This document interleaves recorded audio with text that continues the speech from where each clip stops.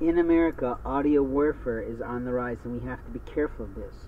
What it means is scientists from around the world have been studying how inaudible audio files can be utilized to control people, and openly it does. There are certain pitches that can give you headaches. There are certain pitches that can give you nauseousness. There are certain pitches that will annoy you. There are certain pitches that will put you to sleep. The truth is, American scientists were not exactly ready for this, and they came from the Middle East. But in life, we have to know what is torture, and in life, we have to know what is misfortune, and life, in front of God, we have to stop this.